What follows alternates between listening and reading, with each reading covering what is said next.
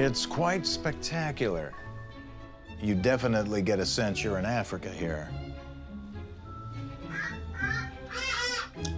Yeah, I don't know what that was. With the balcony and the floor-to-ceiling windows, you feel close to nature. Maybe too close. What the hell is that?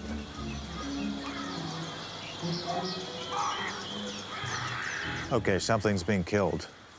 I don't know what that sound was. It was just a horrible, like a hack. Something was hacking.